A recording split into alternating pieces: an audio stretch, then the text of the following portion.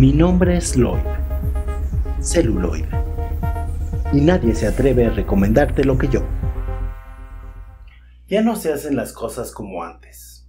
Hoy en día, cuando un cantante hace un videoclip para una canción, el video dura unos minutos, lo que dura la canción y si acaso unos segundos más. Pero en 1976, Vicente Fernández lanzó una dramatización de dos horas de La Ley del Monte, su super éxito sobre el amor imposible de negar gracias a las propiedades mágicas de registro civil que tienen los magueyes. La película tiene de todo, momentos espectaculares, momentos reflexivos, largas pláticas y aceleradas batallas. Es una historia trágica sobre un hombre endurecido por las injusticias que arrebata al destino un poquito de venganza y un poquito de amor. Comienza con el regreso de Vicente Fernández, digo, Maclovio, al pueblo. Y lo que será ser guapo, caray. Le falta rasurarse, pero aún así hay un hombre que lo mira desde los arbustos, todo nervioso, como fan de Belinda en un concierto. Pero ¿quién es este misterioso hombre? ¿Cuál es su pasado? Por fortuna, sus propios recuerdos nos lo aclaran. Ya está. Así es. Cuando era niño, grabó en la penca de un maguey su nombre y el de una niña. A ver, esperen, aquí hay un error. Esos no son nombres, esas son siglas. No, no, no, no, no. La canción clarito dice nombre que se repita.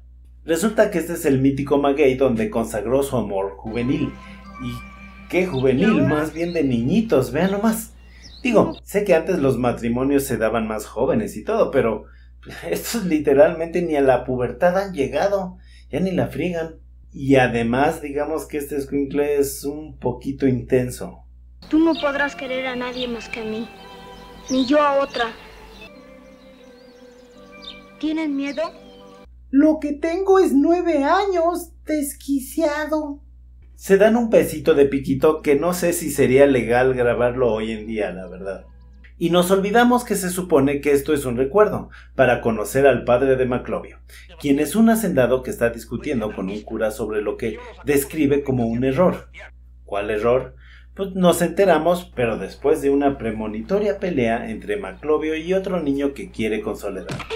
Resulta que el papá de Maclovio es un hombre adelantado a su tiempo, que rechaza el clasismo, el racismo y las injusticias sociales.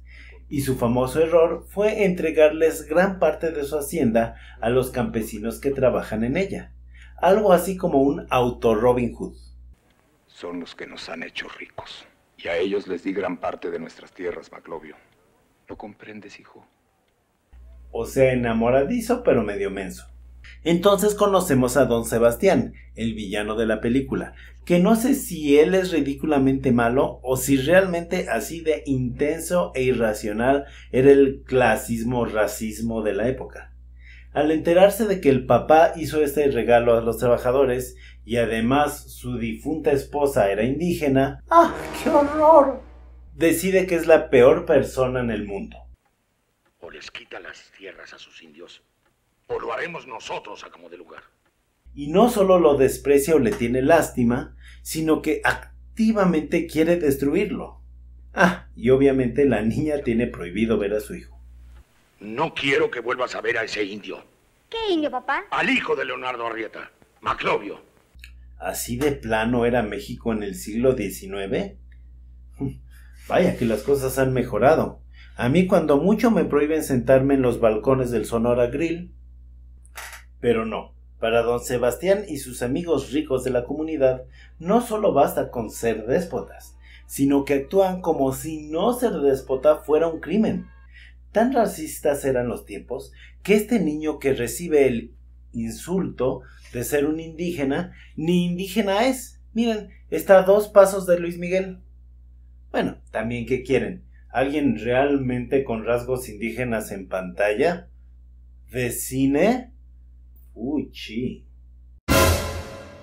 Bueno, en cine tal vez, pero en televisión nunca. Tanta es la presión que Maclovio padre termina citándose a un duelo con don Sebastián, mismo que Maclovio mismo atestigua a escondidas. Y como se imaginarán, don Sebastián no solo es un canalla, sino también un traidor cobarde, pues sus minions atacan desde los árboles y acaban con el generoso hombre. Y aprovechan para quedarse con sus tierras.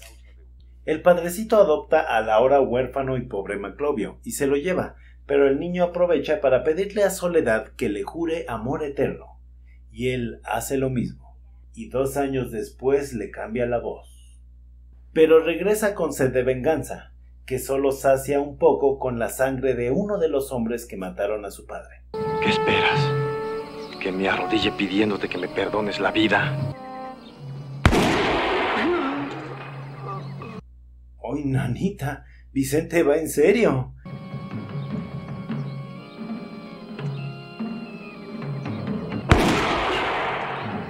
Hasta lanza un canto de guerra. Grabé la de un maguey tu nombre.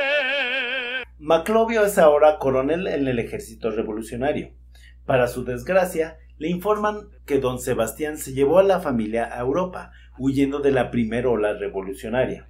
Obsesionado, Maclovio se la pasa las tardes haciendo cosplay de niño emo en las cantinas, sin hacerle caso a las mujeres locales ni aunque le canten.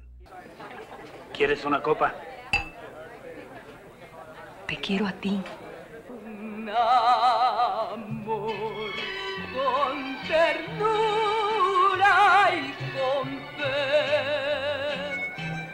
Yo recuerdo una vez que me cantaron. Fue muy bonito.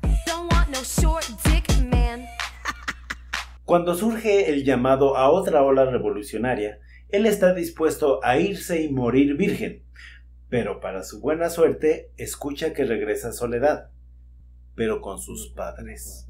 Y aquí es donde el cura le recuerda su conflicto. Verán, Maclovio tiene dos grandes motores en la vida. Uno es vengarse por el asesinato y despojo de su padre, matando a don Sebastián. Pero el otro es su amor obsesivo por Soledad, a quien perderá definitivamente si mata a don Sebastián. ¿Es concebible que acepte casarse con el asesino de su padre? Así que tiene que escoger, o vengarse o ella. Sin hacer cita ni comunicarse, acampa junto a su maguey, y al segundo día efectivamente aparece Soledad. Por fortuna, haciendo honor a su nombre, esta vez con edad de besuquearse, y parece que no hubieran pasado los años.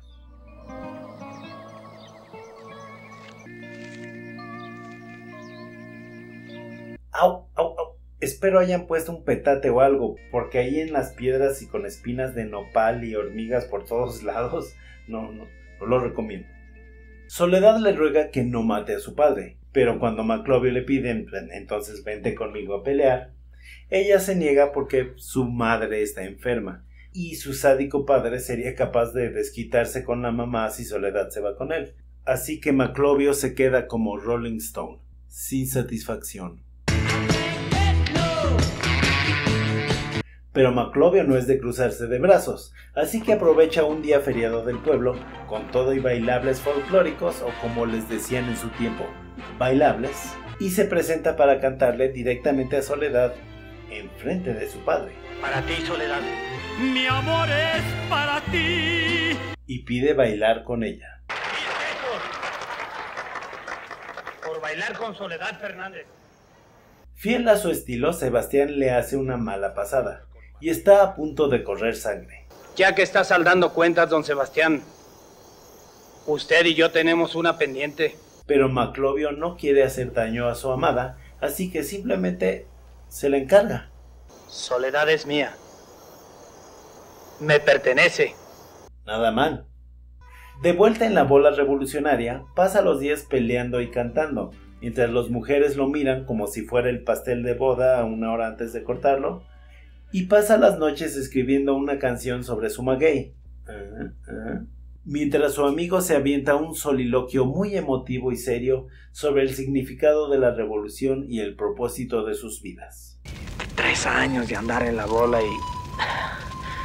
Ya no sé por qué ni para quién peleamos. ¿Quién sigue trajinando para que a sus indios les den la tierra? Y puritita madre Maclovio. Puritita madre. Y en una emboscada parece que lo mataron.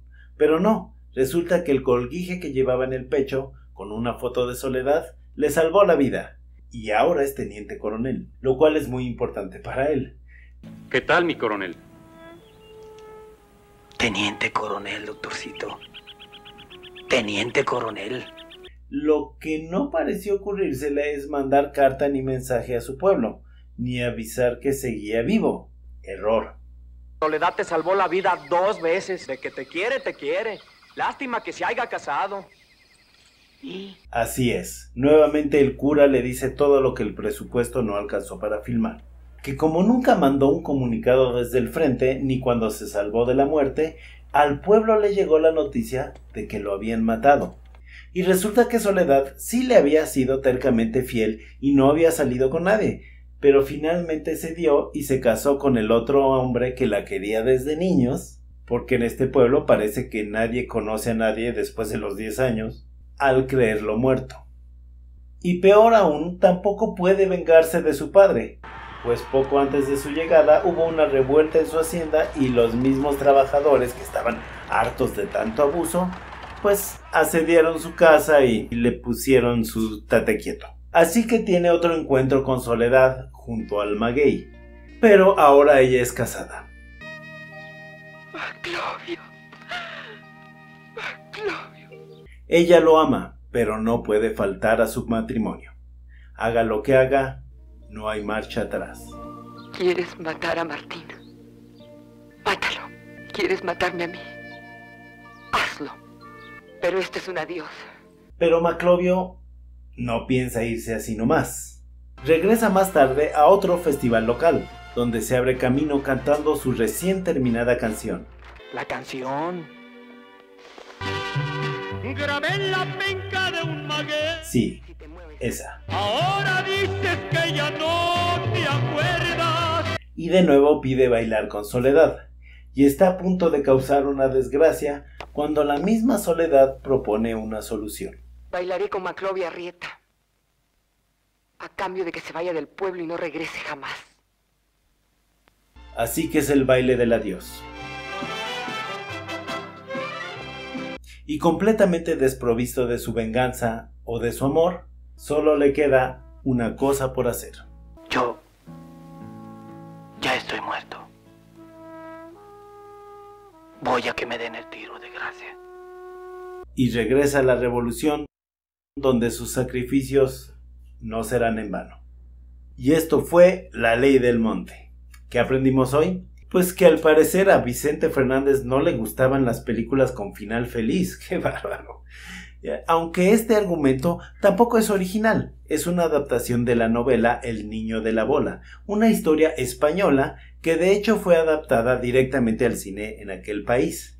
Aunque en su forma original no es tan buena, es aún más trágica y sobre todo no tiene magueyes ni a Chente cantando.